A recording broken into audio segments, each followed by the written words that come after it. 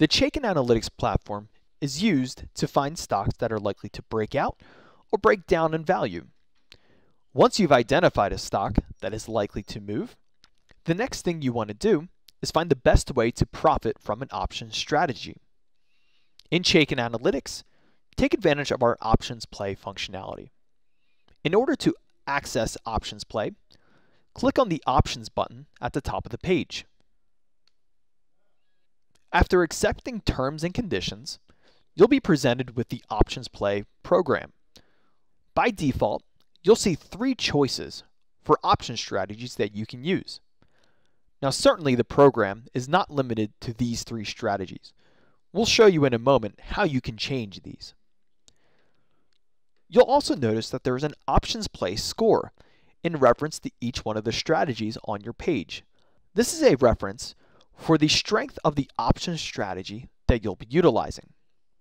One of the most important things to recognize in options play are the assumptions, which the options play score is based on. At the bottom, you'll see the default setting for price, the expiration for the options, and volatility. There are four main screens in options play.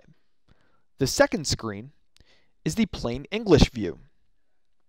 This allows you to see a breakdown for how much risk and how much reward is involved in a trade. You can also see the price that the stock needs to get to in order for your strategy to profit. There's also a probability of profit reference. On the third page, you can simulate your trade. You'll notice that the default setting, either bearishly or bullishly, is based on a single standard deviation move. A double standard deviation move is also available by clicking on the wide option. This is helpful when trading on earnings. The options expirations are also available under the expiry menu.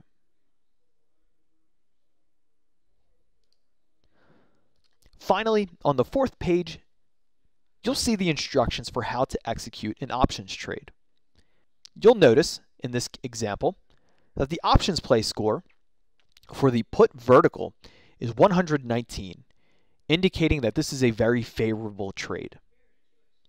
When I click modify, you'll see each of the legs involved in order to execute a put vertical trade. If preferred, you can modify the expiration date,